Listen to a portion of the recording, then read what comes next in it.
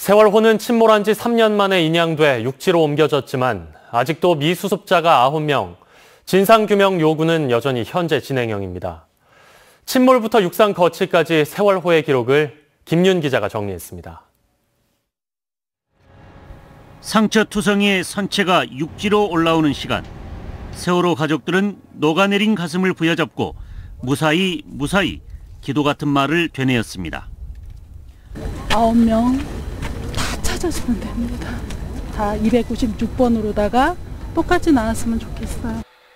2014년 4월 16일 배가 기울고 있다. 살려달라는 다급한 목소리만 남긴 채 세월호는 차가운 맹골 수도 바닷물 속에 가라앉았습니다. 승객들을 버린 선원들, 우왕좌왕, 갈팡질팡의 구조와 수색, 꽃다운 생명들이 졌습니다.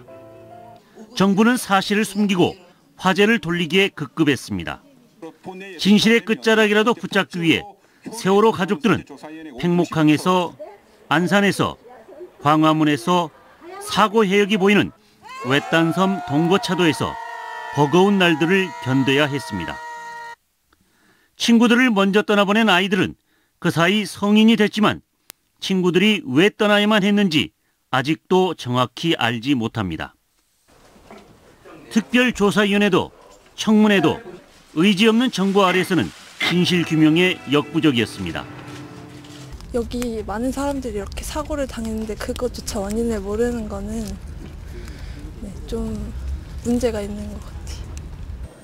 봄날 설렘을 안고 인천항을 떠났던 세월호는 한나절의 시간이면 도착했을 제주도 대신 1091일이 걸려 목포 신항의 육지 위에 올랐습니다.